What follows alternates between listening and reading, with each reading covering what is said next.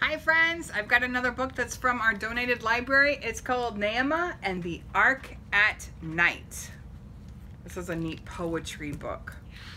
Uh, the It's a lullaby by Susan Campbell Bart Bartoletti and the pictures are by Holly Meade. They're the animals.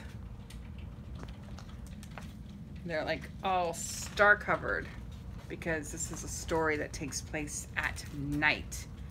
As rain falls over the ark at night, as water swirls in the dark of night.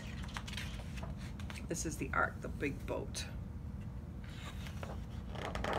As thunder crashes the seams of night, as Noah tosses in dreams of night, sleeping. As restless animals prowl at night, or lions and tigers, as they pace and roar and growl at night. Naamah sings all through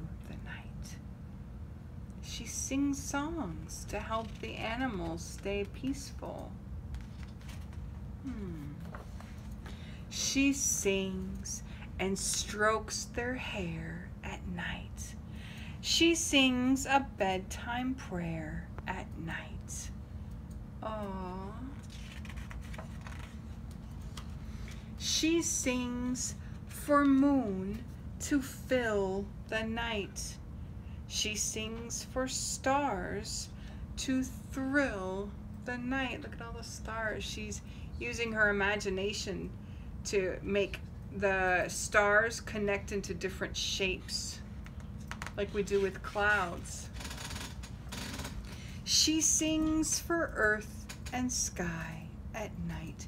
She says night night. She's covering them up. She soothes her sons and their wives at night. Those are her sons. And their wives. Night night. Naamah sings all through the night. Look at the giraffe.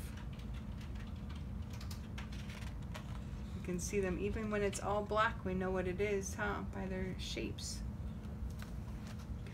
Over the ark, song flows at night. Two by two, eyes close at night. Night night bears. Night night giraffe. Two by two, wings furl at night. When they furl, it means that they close. See all the different birds? They close their wings and go to sleep. Two by two, tails curl at night. They curl up their tails when they go to sleep. Look at the monkeys, aren't they cute? Little animals all ready for bed. Two by two, the beasts of night are lullabied to sleep at night. Do you guys sing songs before you go to sleep? Oh, that's a big yawn.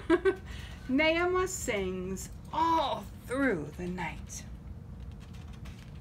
Hippo. Beneath the clouds that shroud the night, the ark sails long into the night. Oh, she's finally ready to go to sleep too.